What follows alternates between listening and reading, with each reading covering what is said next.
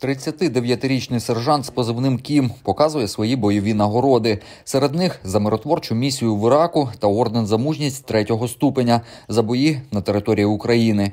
До повномасштабного вторгнення чоловік працював за кордоном. На момент вторгнення Рудем перебував на іншому континенті. Скажем так, вкратце, я э, до этого м, работал в одной из охранных компаний, которые сопровождали грузы И не допускали попадания определенных запретных веществ на борт судов. И как раз в это время мы находились в Бразилии, когда началось полномасштабно.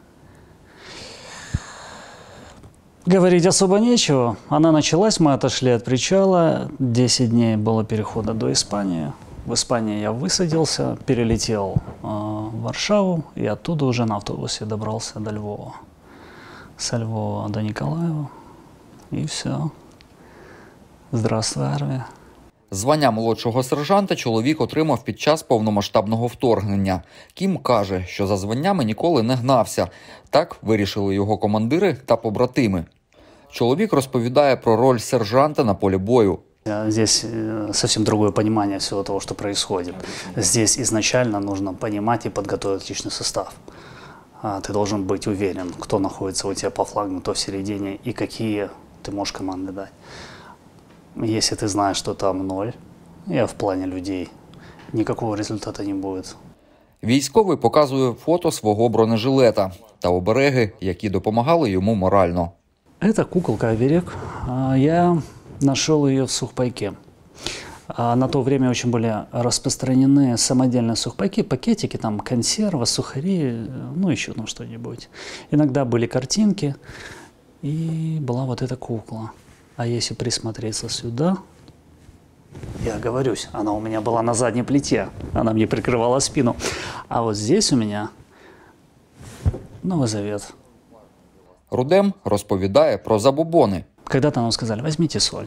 Возьмите соль, она вас будет оберегать. И у меня был такой узелочек с солью, кстати, он там тоже лежит. Я и э, стирал камуфляж в нем, э, скажем так, не знаю, что от нее там осталось, но она была всегда со мной. Но в день ранения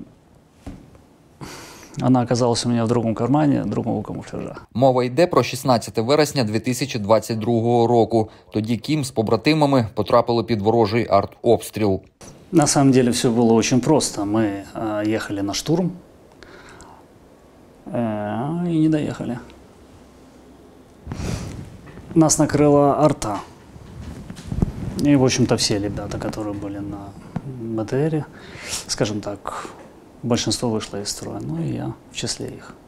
Это было два осколочных в ногу, вернее, нет, э, два осколочных э, я получил в обе ноги и далее перелом позвоночника.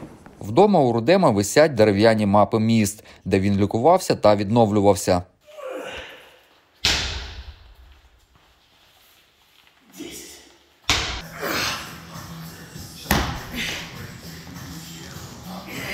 Ужгород – это особое место. Кстати, там находился и находится нейрохирургический центр, в котором я проходил тоже лечение. Рудем у 2004 році відслужив строкову службу. Після контракт ротація в Ірак. В 2011-му покинув лави Збройних сил України та змінив діяльність. В кутку коридору лежать бронежилет з позивним, тактичні окуляри, шолом, навушники, зібрана аптечка та інші елементи амуніції. Позаду у чоловіка дві операції на хребті, попереду ще одна. Зараз Рудем служить в одному з миколаївських територіальних центрів комплектування. Олександр Гордієнко, Юлія Філімон, Суспільне, Новини Миколаїв.